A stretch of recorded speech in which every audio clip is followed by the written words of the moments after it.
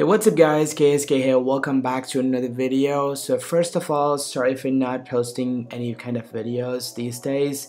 I was on vacation. Anyway guys back to the work.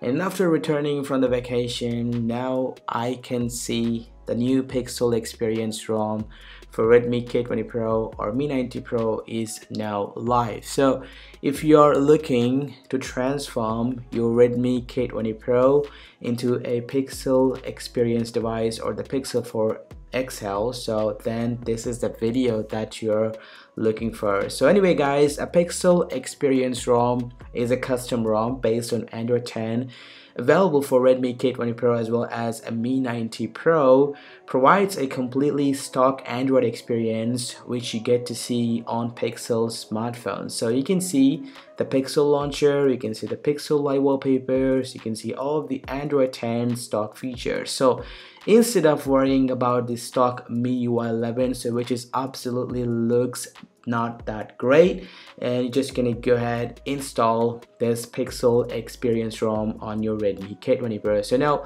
let me go to settings and show you the version by going into settings about phone and you can see android version. It's actually based on android version 10 if i tap on the android version you can see the android 10 easter egg.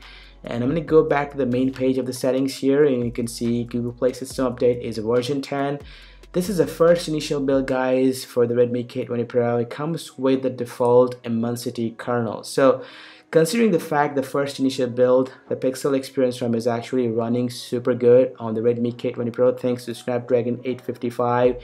It actually takes an advantage of it. It runs super smooth. You can see everything opens up very snappier compared to the stock MIUI 11. So you can see these gestures are also working super fine. Now talking about the pros, as I told you, so if you want to transform this phone, a Redmi K20 Pro into a Pixel 4 XL, then you should watch the video till the end to know everything about this ROM. So first and foremost, as I told, it comes with the Pixel goodies. So one of them is going to be the Pixel launcher. It comes with the latest Pixel launcher. You can simply swipe up from the bottom to reveal the app drawer. Unfortunately, you're not going to get to hide any kind of applications option here so which is sort of bummer. And if you go ahead and swipe up and leave it you're gonna get to see this app switcher where you're gonna see all of your previously opened applications. And of course you can see clear all button here. Just clear it to clean up all the applications in the background just like that. Now it comes with the styles and wallpapers also simply hold anywhere on the home screen and you can see styles and wallpapers are also available so there are tons of live wallpapers added by the developer into this build. One of them is going to be the coming alive. These are the dynamic live wallpapers which adopt the scene based on the themes. So you can see there are a lot of themes available. You can also customize these live wallpapers according to your taste. You can see it. You can switch the speed of the real time. You can also switch to the different planet here which is sort of cool. And also there's a one more tab section here. It's called a style section. So using this section you can customize the style as well as the font as well as the icon pack as well as the colors. Not an icon pack just like you can customize the look of these toggles the accent colors as well as the shapes a lot of things you can do it which is sort of amazing. Now talking about the notifications panel on the quick tile section you can swipe down anywhere on the home screen to bring up this a quick tile section here just like that. It's sort of cool. And if I click on the pencil icon you're gonna get to see a some other options here. So where you can simply hold it and drag into this main quick tile menu so unfortunately Pixel Experience ROM is not a that customized friendly it offers only limited features compared to Havoc OS and Evolution X which offers a tons of customizing options.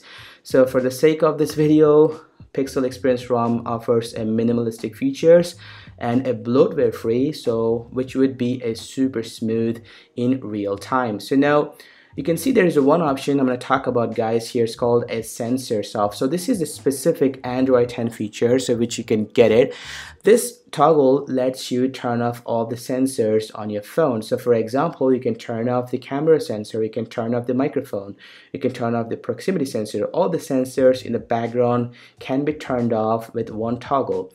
We know that a Bluetooth as well as the Wi-Fi radios has their own dedicated switches to toggle it, to toggle on. But some of the sensors like the camera sensor, the light sensor, you're not supposed to do turn off all the sensors. But thanks to Android 10, Google done a fantastic job with a one single tap. We can simply turn off all the sensors in the background, which actually preserves the battery life. So for example, enabling this option after that, if you open the camera, you can see it's not going to be connected to the camera, which is going to be the expected thing.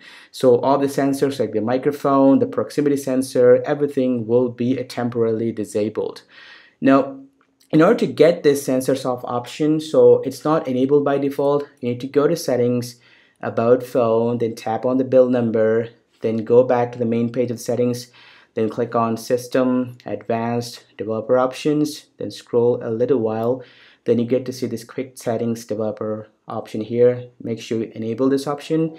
Then go back here click on the pencil icon. You're gonna get to see somewhere here. Just gonna go ahead drag it out there and you can use that option. So this is amazing feature guys. Sensors off. I really really like about the android thing. So compared to ios you're not supposed to customize it which is sort of bummer now it's time to talk about the stock camera. It doesn't come with a Google camera, so it comes with a standard AOSP camera, so which is sort of minimal. So let me go ahead and turn off this sensors off option here, and then you can see the default camera. It works, the front camera also works fine. There are no issues at all. Everything works super fine. I'm gonna go ahead and go back here and you can also take the video can see there are a lot of options available. So again this is the stock AOSP camera which is not that great. Um, if you talk about the uh, settings here so you can see this ROM comes with a few options. You're not supposed to customize everything according to your taste. Even if you go to display you're gonna get the dark mode but still there is a no accent colors option available so let me go ahead and talk about the dark mode. You can turn off the dark mode or turn on the dark mode from here. You can also turn it on or turn off from also here. So as I told you in the beginning of this video these live wallpapers are dynamic wallpapers. If I go ahead and turn on the dark mode you can see it's going to automatically change the look and feel of the wallpaper which is sort of amazing. Let me go ahead and turn off the dark mode. Again you can see it looks incredible. So now back to settings again. So you can see there are no advanced options here so that only lets you customize more. And one thing I want to talk about in settings. So many of you guys are asking about the face unlock option in Android 10 well let me give a some clarity about this thing so if you go to security and if you have set the pin or password and there is a smart lock option will be enabled and using the smart lock you can use a trusted faces option to uh, trigger the front camera and unlock your phone. So we have seen the Pocophone F1 is having the IR cameras which actually uh, unlocks the phone even in the extreme dark conditions which is amazing thing. So but thanks to Android 10 Google has removed this option for some reason. Uh, this is not even a complete feature, it's a part of the Google Play services. Uh, for some reason, all of the Android 10 ROMs may not going to come with the a trusted face unlock option, which is sort of bummer. And I heard some are saying that it's because Google is actually working for the real face unlock option for future versions of Android and Google Pixel devices. So that could be the reason guys. For now with Android 10 ROMs, you're not going to supposed to see that face unlock option. It's gone forever. Now if I go back to the settings here and uh, can see safety net check test, if I go ahead and run this, you can see it's actually passed it without any kind of Magisk or root. As you can see, I don't have any kind of Magisk or root installed and you can see it's actually passed the test. What does it mean? So if the safety net status is set to be if passed, that means your phone is fully secured. If you go to Play Store and if you search for any kind of application like Netflix, let's gonna go ahead and search for Netflix. And you can see Netflix is available. So that means this ROM is not tampered. So these kind of trusted applications like Netflix will not gonna be work if the ROM gets tampered. Also, Google Pay will work without any issues. So that means you're free to use all the UPI based applications, which is amazing. So these were the, some of the features that you can get uh, in Pixel Experience ROM running on the Redmi K20 Pro. Now it's time to talk about the navigation gestures in Android 10, especially the Pixel Experience ROM. And if you go to settings, system, gestures, and you're gonna get this new option called the gesture navigation. You can control the uh, speed of the sensitivity so you can simply swipe up just like that to go to the home screen sort of like iPhone gestures. And just like that if you swipe up and hold for a second that actually reveals the app switcher. You can swipe up all the way to see this clear all option. Just tap on it to clear all the applications in the background.